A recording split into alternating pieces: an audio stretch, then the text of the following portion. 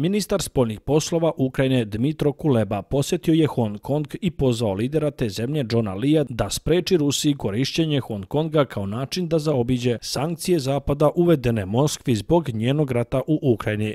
Vlada Amerike vidi i Hong Kong i Kinu kao ključne puteve za nabavku materijala za rusku vojsku, uključujući poluprovodnike i delove za bespilotne letelice. Hong Kong je i dalje globalno žarište za izbjegavanje sankcija, iako su poluprovodnici trgovci i druga ograničena roba koja se isporučuje preko Kine i Hong Konga ove godine pala za petinu, prenosi Reuters. Vlada Hong Konga je u prošlosti rekla da ne primenjuje jednostrane sankcije koje su uvele druge zemlje, ali energično sprovodi sankcije koje je uveo Savet bezbednosti Ujedinjenih nacija u skladu sa upustvima Kineskog ministarstva spoljnih poslova.